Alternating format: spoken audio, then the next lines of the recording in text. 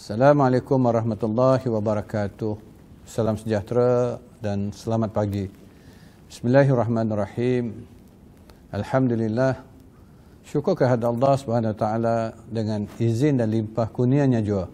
Maka dapat kita menyempurnakan majlis sambutan Hari Integriti 2020 peringkat Kementerian Kerja Raya secara maya pada hari ini. Terlebih dahulu, saya ingin mengucapkan terima kasih kepada Unit Integriti Kementerian Kerja Raya selaku pengajar majlis serta semua bahagian, jabatan dan agensi yang terlibat dalam menjayakan majlis secara norma baharu ini. Yang bahagia datuk-datuk, tuan-tuan dan puan-puan, tahun 2020 bahkan melabuhkan tirainya dalam tempoh sebulan lebih saja lagi.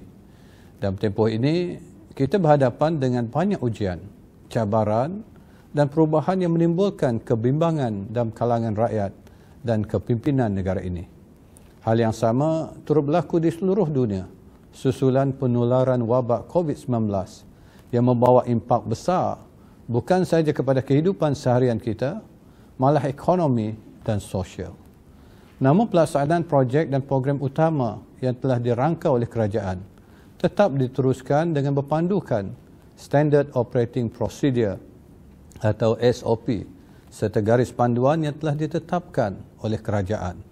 Ini bertujuan untuk memastikan kestabilan ekonomi, kelangsungan perniagaan, keselamatan dan kesejahteraan hidup rakyat. Sehubungan itu, semua warga KKR perlulah mematuhi SOP dan membudayakan norma-norma baharu sepanjang masa berkonsepkan kita jaga kita.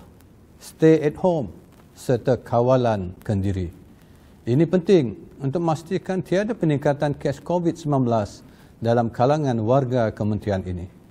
Bagi tahun 2020, integriti terpelihara, rakyat sejahtera merupakan tema yang dipilih oleh kementerian bersempena sambutan Hari Integriti.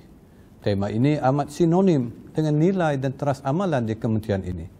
Selain daripada nilai profesional dan kerja berpasukan, nilai integriti merupakan salah satu daripada tiga nilai-nilai bersama yang menjadi teras amalan di Kementerian Kerja Raya. Nilai integriti adalah kualiti asas yang perlu pada diri setiap warga KKR untuk memastikan pencapaian visi, misi dan fungsi kementerian secara keseluruhannya. Manakala perancangan dan pelaksanaan projek dan program kementerian adalah berkonsepkan ke arah kesejahteraan rakyat seperti mana yang dizahirkan melalui moto kementerian ke arah kesejahteraan rakyat.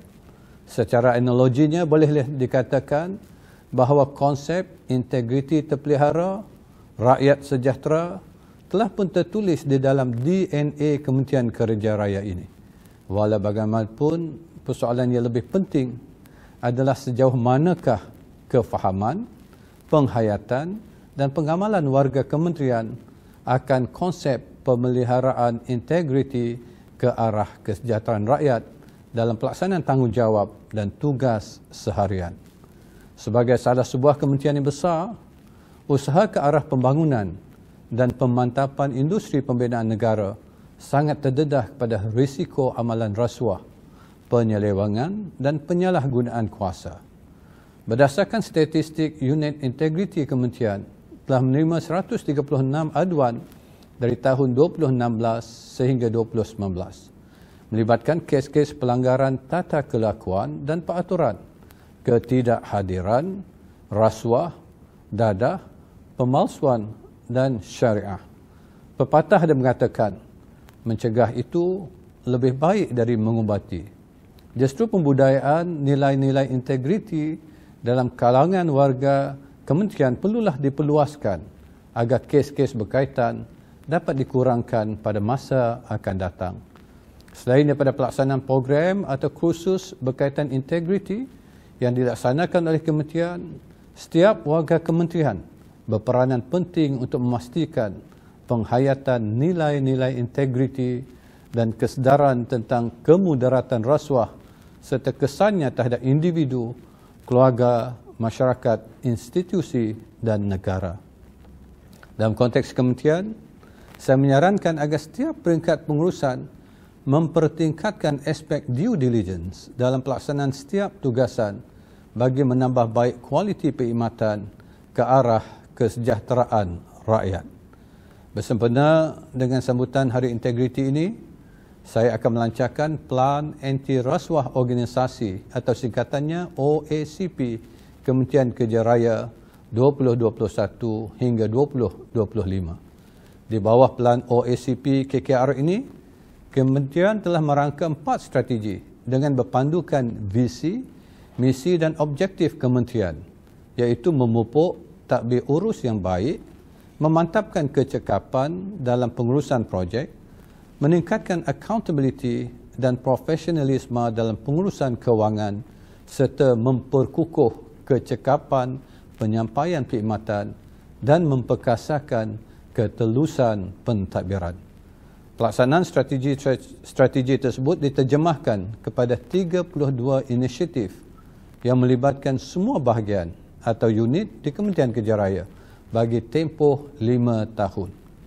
Inisiatif-inisiatif yang telah dirangka di dalam dokumen OACP KKR merupakan komitmen secara kolektif kementerian untuk bersama-sama memastikan negara ini dikenali kerana integriti dan bukannya rasuah.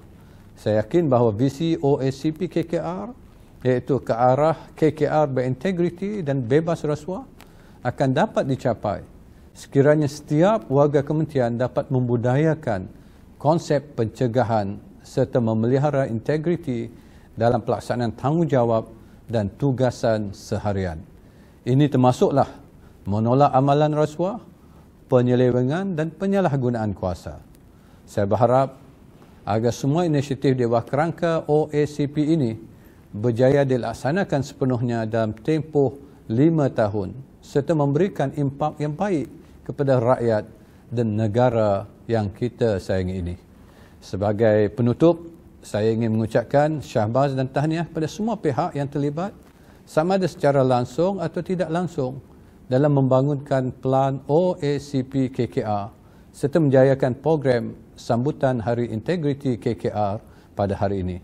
Dengan lafaz Bismillahirrahmanirrahim, saya dengan ini melancarkan Plan Anti Rasuah Organisasi ataupun OACP Kementerian Kerja Raya 2021 hingga 2025.